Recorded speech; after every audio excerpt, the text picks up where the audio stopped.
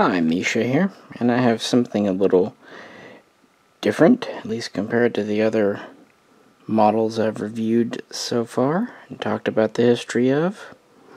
And uh, I do apologize, this is going to be one that's very difficult for me to record, because it is very big. On the other hand, at least probably some part of the plane will be in the shot at all given times. Right? As most of you hopefully by hopefully seeing it and I've already guessed. This is the Boeing B-17 Flying Fortress. And this is the G variant. So pretty much the uh, definitive, as they often call it, variant of the plane with all the guns and the best engines and the best Norden sight and everything on it. And this model, massive as it is, is a 172 scale from Corgi and it is die cast. And it is solid metal. This thing weighs multiple pounds. It is almost impossible to lift with one hand, especially on the stand, which itself is metal. It is an impressive model. And it has several articulated parts, including turrets, flaps, and even a hinged bomb bay. It even has crew figures inside, which is pretty neat. This was kind of always the pinnacle of the die-cast plane world, these big bombers. They've also done the B-24, some of the British like the Halifax, and some of the smaller like the B-25. And we'll get to some of those. But for today, the Flying Fortress. like I said, I will do my best, guys. So bear with me.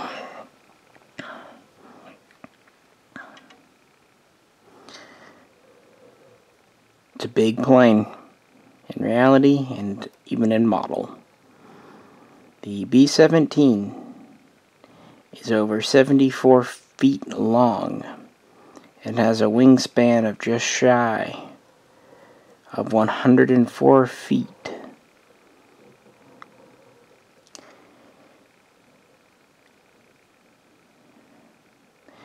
It had a maximum bomb load between 4,500 and 8,000 pounds.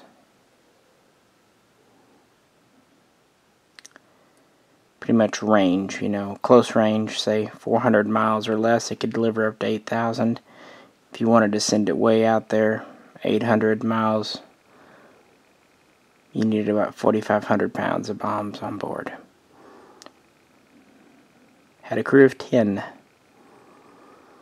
Early versions had as few as 7 machine guns, but versions like the G here up that to 13 50 caliber Browning Modus guns. It could get up to 280 miles per hour, but it liked to cruise at about 190 or less. And it had a ceiling of a little bit over 35,000 feet.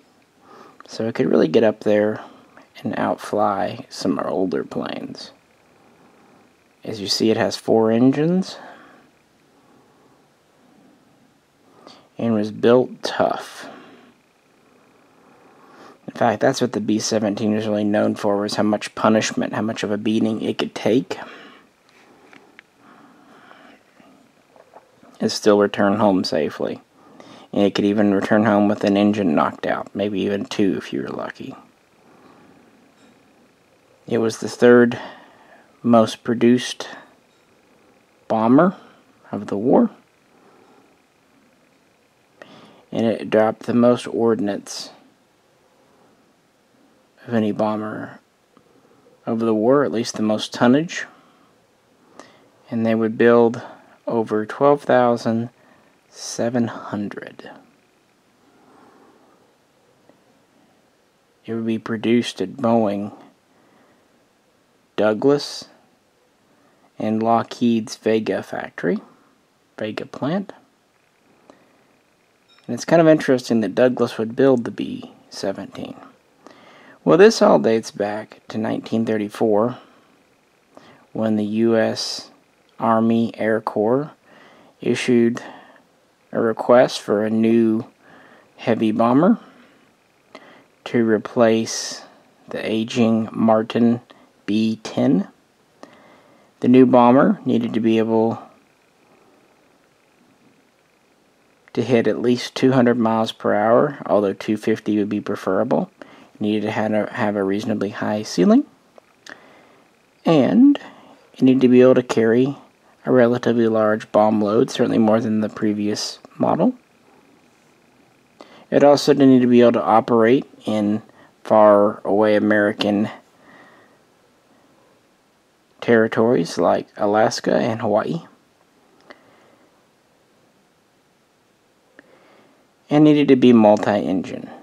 So in 1935, Boeing worked on what was known as the Model 299, basically what we would call the XB 17. It first flew in July of that year and was delivered to Wright Field in Ohio in August. And it was there, it was going to have a multi week fly off with entries from Douglas and Martin. But really early on, it was the clear star of the show.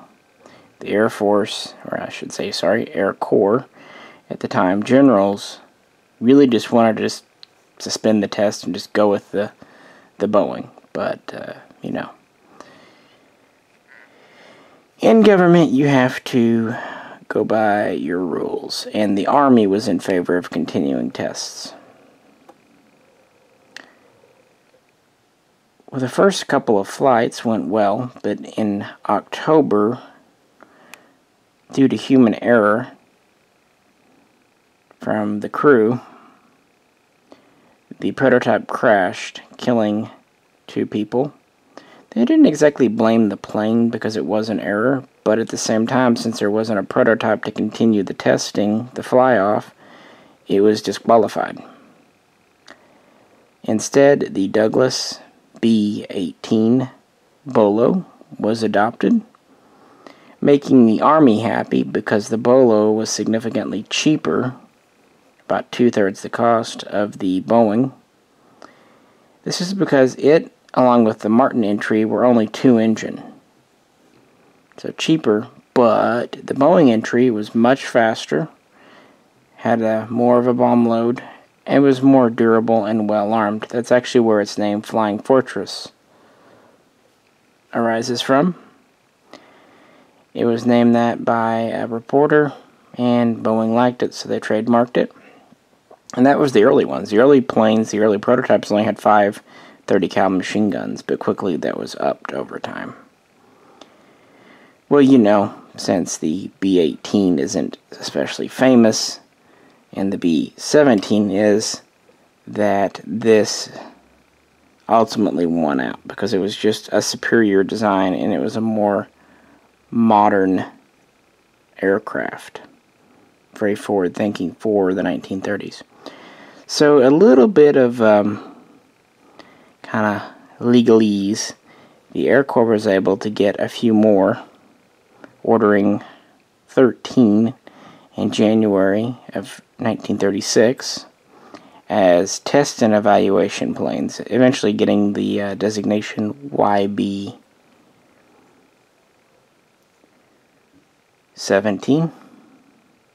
And, th- and so throughout 1937, they would evaluate the planes, and these would have slightly better engines, better design than the original prototype.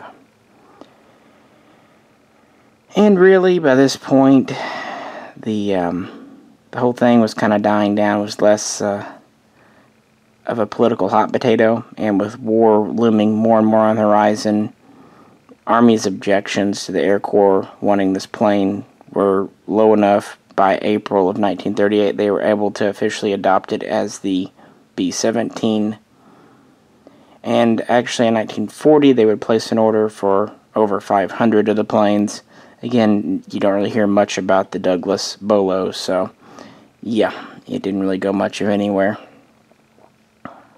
even though it officially won the trials. These were just going into service when Pearl Harbor happened. In fact, fewer than 200 were in American military service. The British would actually acquire these early on. That's they would call it the Fortress 1. They would get the B-17C model which had new flaps and new rudders and a few other little design tweaks. And they would try employing them, and they wouldn't do great. The early versions, really, 1941, when the British tried using them, they were not um, terribly successful. So the British would kind of retire these very quickly from being bombers to coastal patrol craft, anti submarine patrol craft, and what America did, being smart, they kind of let the British prototype them and they took notes. And then they would go to the D and eventually E variants, increasing the guns and increasing the uh, the engines, and uh, just overall making the plane more survivable. And it was by the B-17F variant that things were really coming together. The F was really the version that went to war with America in 1942-43. Now these were in the Pacific, but not in large numbers. In fact, uh, three dozen were in the Philippines when the Japanese invaded. Most were destroyed on the ground. A few were kind of saved briefly, but they didn't really do much there. Their the remaining ones were evacuated, and actually a dozen were in the air on December 7th during Pearl Harbor uh, most of those survived. I think two maybe were destroyed during the attack, and those would go on to fight in the war. And in 42 43, about 150 to 180 were in the Pacific, and they were used to attack Japanese convoys. Not all that successful, but they did sink a couple of destroyers, several troop transports, and they also acted as a deterrent, causing more than a few Japanese convoys to turn back. But all in all, since this was a high altitude bomber, it wasn't really well suited for the Pacific. Therefore, in January of 43, the B 17 was ordered out, and the new B 24 was ordered in, and later the B 29, also from Boeing. So, this really had its day in Europe. It would first be used in the Middle East, North Africa, and then it would be, you know, the first American units with these would be transferred to England through May and July of 1942, and they would have their first bombing raid in August of that year. And in Europe, that, that raid was quite successful. And of course, we're using the newer versions at this point, updated from the C. Throughout 43, as most know, the uh, the British would do nighttime bombing kind of aerial bombing, and the Americans would do daytime strategic bombing, trying to target German manufacturing and all that good stuff.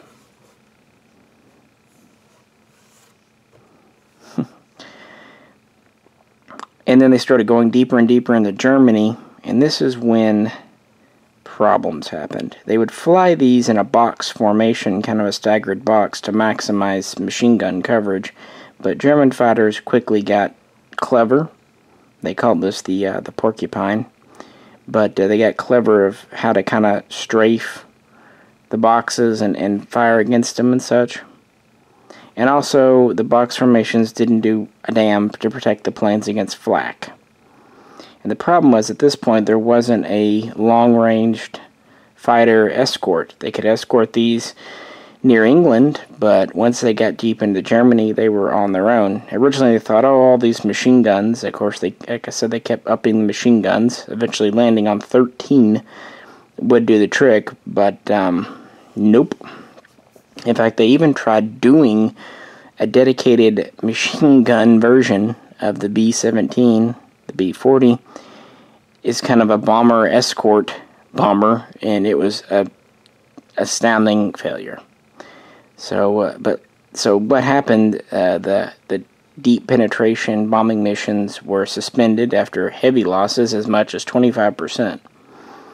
And so it wasn't until April of 1944 that they resumed when P 47s fitted with new drop tanks and, the, of course, the new Star of the War, the, the Mustang, the P 51, also fitted with drop tanks, had the range to escort bombers like this as well as the B 24. And so deep penetration runs started happening into Germany again and these really intensified starting in April, May of 44 in preparation for the D-Day uh, recapture of France because they wanted to basically A, destroy as much German production as possible, especially aircraft, and B, draw out a lot of German fighters to come up against these planes and then wallop them with the new P-51s. And so this really took a toll on the Luftwaffe. And of course, they kept bombing Germany and like I said at the beginning, this delivered the most ordnance of any American bomber in the war. And despite heavy losses, especially early on, the daylight strategic bombing continued. And now, of course, the new fighters still did nothing to help with uh, with flak. That's just uh, one of those things.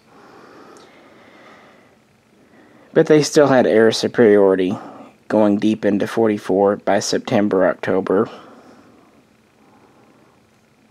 and the last major heavy bombing raid into Germany was on April 25th of 1945.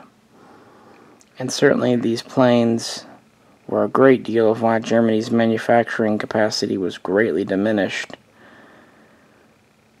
towards the last couple of years of the war. Now there's a bunch to be said on the B-17 and I can't even do it all today, not even a tenth.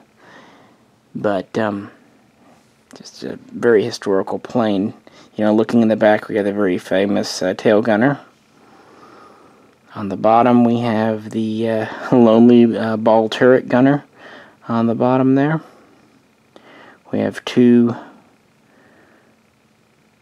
side guns. We have a top gun above those, kind of above the radio compartment. In front of that we have our bomb bay. In the front we have the uh, chin guns and the forward turret. And then we have a turret on top of and slightly behind the cockpit. This, of course, as I said, used the Norden bombsight, which was an early analog computer that was gyro stabilized for use in flight, and it greatly, basically allowed this thing to bomb from a much higher altitude than uh, previous bombers just using visual sights. It also did make the plane a little more vulnerable during its uh, final bombing run approach because the bomber would take control of the plane, flying it as straight and level as possible, making it the easiest possible target for fighters and flak guns. So it was a trade off, but in all in all, it got the job done.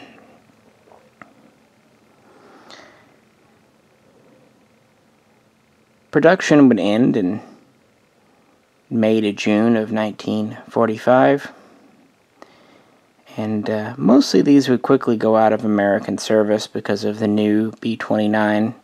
It's worth saying that Brazil would keep some B 17s through 1968, at least according to Wikipedia. and these would also be kept on as search and rescue planes for a time in the Pacific. And some were converted for other duties because, I mean, they had thousands of them after the war Many went to the boneyard, many were given away to American allies, and again, many were repurposed. Just a cool historical plane and a really good model from Corgi. This is an older Corgi model. Uh, this one was made a few years back and it's kind of old stock. Again, it's solid metal. We have articulating bomb bay doors. We have uh, movable flaps on the wings. We have retractable, extendable landing gear housed in the engine wells. And they even have rubber tires that really spin. Most all of your turrets and things will spin. Might be hard for me to do, but the ball turret is actually fully uh, fully articulated. Can rotate down and sideways. Pretty cool.